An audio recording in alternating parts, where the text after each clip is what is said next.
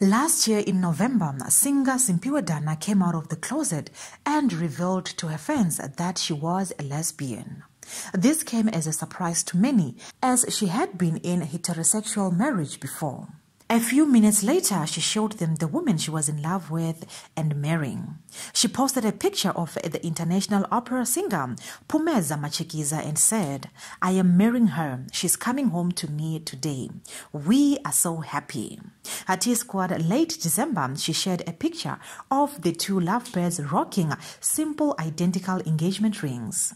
And now the two are tying the knot. Simphiwe took to Twitter to ask her friends to be happy for her with the choice she has made to be openly queer and marry Pumeza.